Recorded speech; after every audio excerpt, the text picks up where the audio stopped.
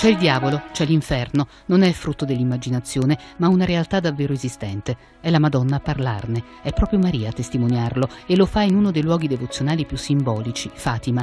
La dimora di Satana viene evocata nel 1917 durante un'apparizione a Lucia, Francesco e Giacinta, i tre pastorelli.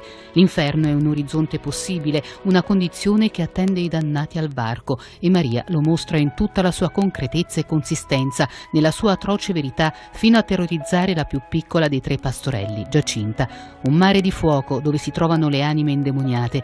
Questa è la pena degli spiriti dannati, quella di vivere in un luogo ardente e tetro, sopportare un caldo asfissiante, bruciare in eterno senza poter aver sollievo.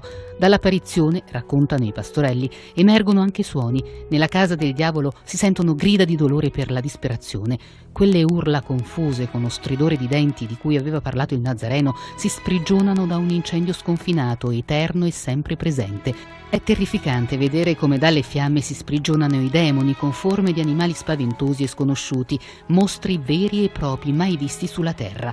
Ecco cosa scrive Suor Lucia di quella visione. La Madonna ci mostrò un gran mare di fuoco che sembrava stare sottoterra. Immersi in quel fuoco, i demoni e le anime, come se fossero bracci trasparenti e nere o bronzee, con forma umana, che fluttuavano nell'incendio, portate dalle fiamme, che uscivano da loro stesse insieme a nuvole di fumo, cadendo da tutte le parti, simili al cadere delle scintille nei grandi incendi, senza peso né equilibrio, tra grida e gemiti di dolore e disperazione che mettevano orrore e facevano tremare da dalla paura. I demoni si riconoscevano dalle forme orribili e ributtanti di animali spaventosi e sconosciuti, ma trasparenti e neri. Questa visione durò un momento.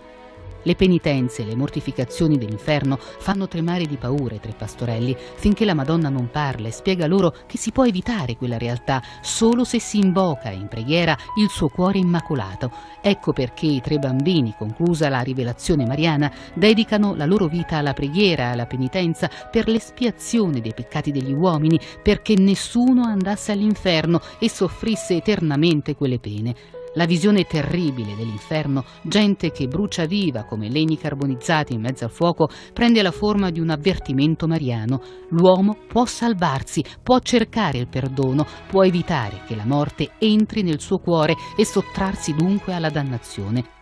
La stessa esortazione proviene da un altro santuario mariano, quello di Lourdes. Anche qui si parla dell'inferno. Maria, in apparizione a Bernadette, ricorda che è proprio l'amare il mare e rifiutare la misericordia divina a spingere le anime nell'eternità del peccato. Ma lei, la Madonna, a Satana gli schiaccia il capo.